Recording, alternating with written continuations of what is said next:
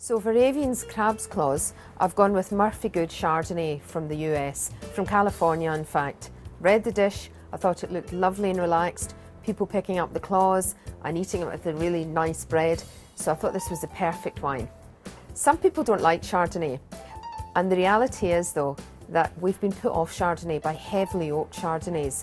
It's the Chameleon grape variety, if it's grown in a cool climate such as Chablis, it can be fresh, crisp and clean, or it can be heavily oaked, rich and powerful.